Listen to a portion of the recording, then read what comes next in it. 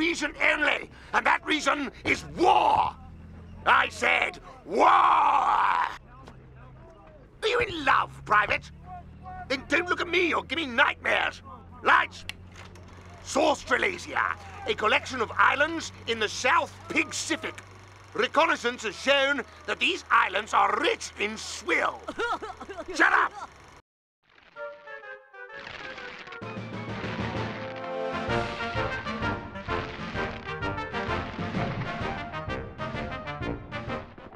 All right, Governor.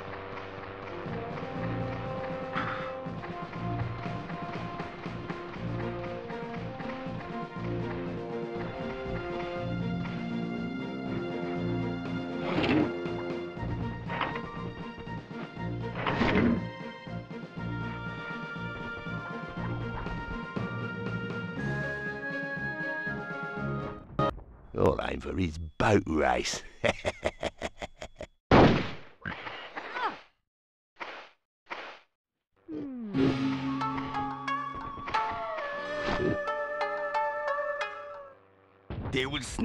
snap in typhoon.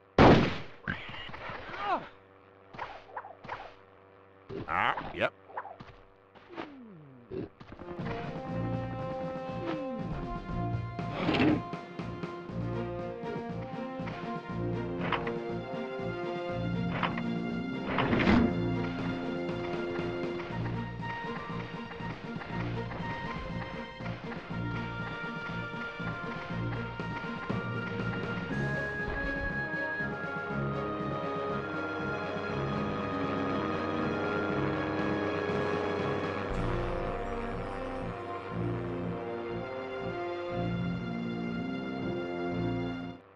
You asked for this.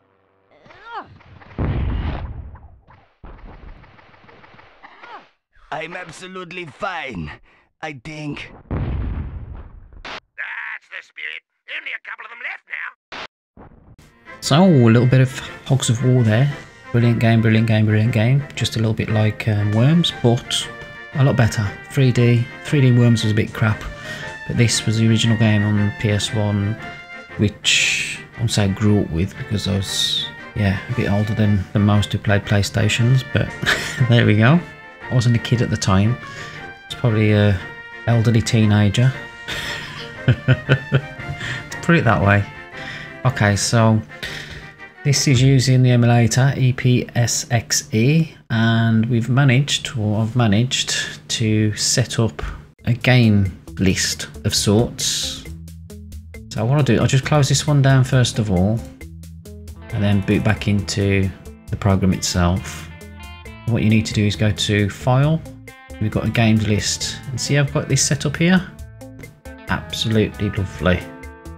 Saves going into all the different folders. They're all here together. So if you did want to set this up, the EP, EPSXE, this is one of the things you could do to put all your games together. And you might have them all on different drives, I suppose, because all you need to do is just go into the folders.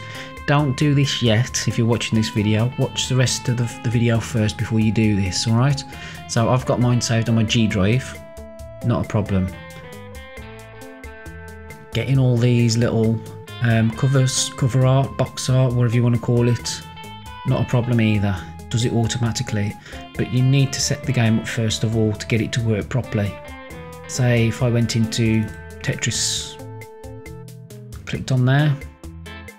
This is after it's scanned that folder and look for all the different games. Sometimes it'll work, sometimes it won't. But really what you need to do is set up the game first. Look at this, it's in tiny screen mode. And that's not what we want. Tetris, not too bad, but it's not what you want really, is it? So what I'll show you what to do, just press escape on here, and close this down again, I'll open it back up. What you need to do is configure your game.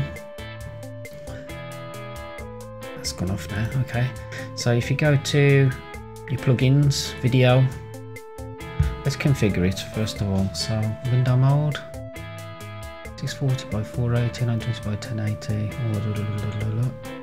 oh, uh, 65 maximum. Da, da, da, Maybe it needs something else for. Oh, so we want scale to window size, keep aspect ratio. So if you go full screen, then hopefully it'll save the settings there. Okay, so we've done that bit, that bit, that bit, that bit, that bit. Okay, so we just press OK on here. OK again. Go to File, run ISO, find it. And then it is running full screen. So I'll just uh, have a quick play, make sure it's running okay. In the world, there are many ruins. This is a story about a professor and his assistant. Let's see what it looks like.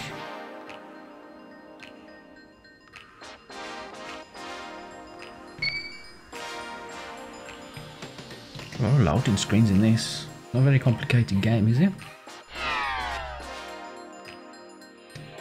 Uh, let's try a bit of classic Tetris. Classic Tetris.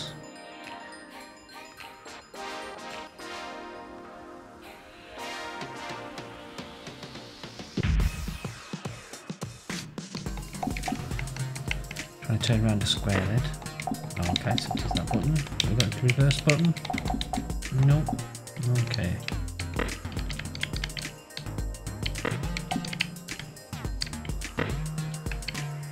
No, I don't want to put that there. Don't be silly.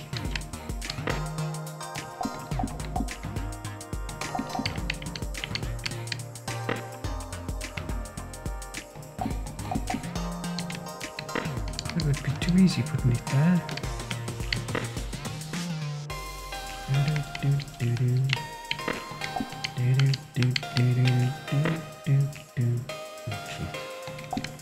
Can't do music, can I? Need two.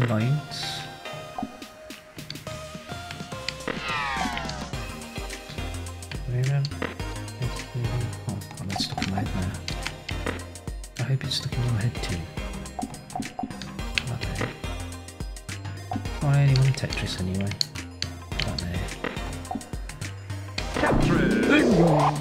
Right. So if I press escape now, back to the screen, and I'm happy with the way that that's set up, I can then go to options and then game profiles and then save profile and then press OK.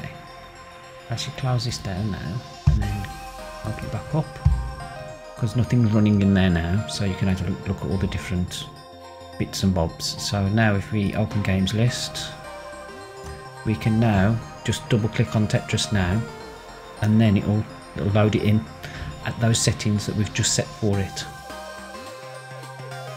The way that it works is that we've got this config file here so these are the ones that have saved already the ones that have actually gone into and saved so if you look say Tetris Plus you see a code here. SLUS 00338 SLUS 0038 so if you wanted to change the settings for that one what I suggest you is just highlight this one right click and then delete and then you'll be able to go back into it as though you hadn't opened it before and change all the settings. If you just double click into it and try and change the settings it's not going to work.